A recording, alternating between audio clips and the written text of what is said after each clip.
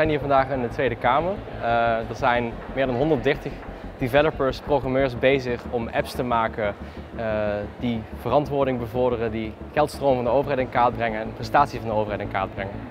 Uh, de hackathon is eigenlijk een goede manier om creatieve ideeën bij elkaar te brengen. Er zijn acht prijzen in totaal. Maar de winnaars worden ook in contact gebracht met andere overheden om hun app verder te ontwikkelen. Allemaal helpen om de democratie te versterken.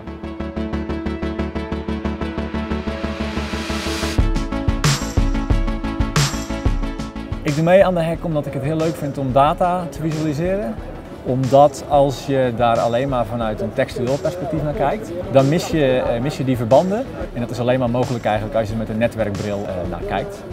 Nou, sowieso is het denk ik wel goed als de open data die beschikbaar wordt gesteld af en toe even goed op de proef wordt gesteld. En dat mensen even gaan kijken, kunnen we hier nou wat mee? En gewoon eens proberen wat voor elkaar te krijgen.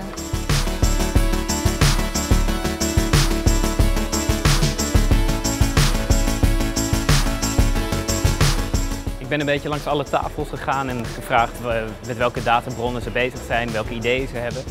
Waar gaan nou de miljarden heen op rijksniveau of op gemeenteniveau? Hoe staat het met het onderwijs? Het is echt, echt accountability, echt verantwoording uh, waar mensen naar op zoek zijn hier.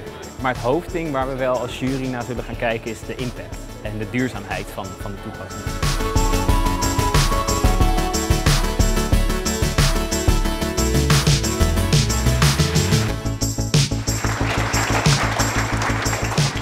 Algemene Rekenkamer wil weten of de overheid zijn geld zinnig, zuinig en zorgvuldig uitgeeft.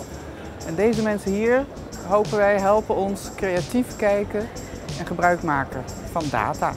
Dit soort evenementen als dit, die kunnen ervoor zorgen dat, dat er meer wordt gedaan met open data. Dat er meer data misschien wel vrijkomen, omdat mensen zien dat er heel veel mee gebeurt.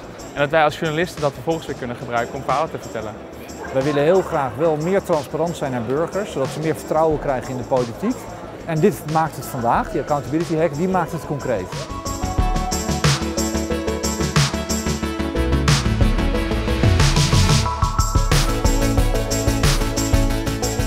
Blauwe cirkel, hoe verhoudt zich dat tot de Human Development Index van de VN? En dat leidt dan vervolgens tot een uh, heel mooi besparingspotentieel.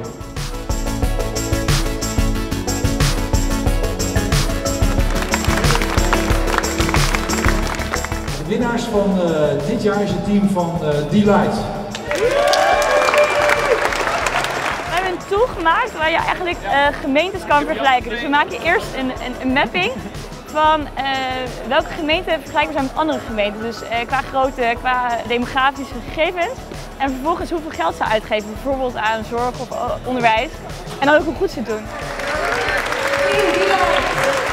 Ontzettend goed gedaan.